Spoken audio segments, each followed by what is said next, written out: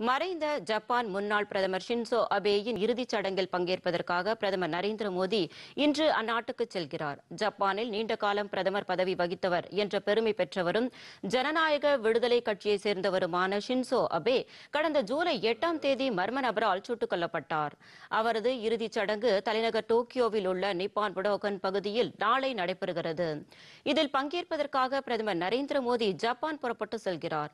இந்த பயணத்தின் போது ஜப்பான் புதிய பிரதமர் ஃபிமியோ கிஷிடாவை சந்தித்து இருதரப்பு உறவுகள் குறித்து பிரதமர் ஆலோசனை நடத்துவார் என தெரிவிக்கப்பட்டுள்ளது.